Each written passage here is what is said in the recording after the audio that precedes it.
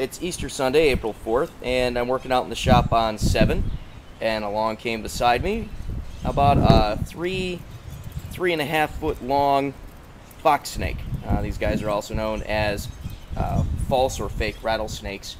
They shake their tail like a rattlesnake, but they have no rattle. Uh, they're not venomous, they'll still bite you. But uh, I don't know if it'll shake it for me. What they do is they shake it and they'll, and they'll smack it against leaves or whatever happens to be nearby. Nah, he's not going to do it. And it makes a fake rattling sound. Uh, patterns on him look a lot like that of a rattlesnake. He's got the diamonds, uh, diamond shaped patterns. Actually, it looks more like the shape of Missouri. Um, but yeah, he's just chilling out here in the sun with us, and uh, I thought I'd get a quick look at him and before I go back to work.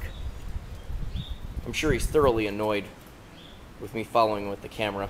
Just trying to get a little sun.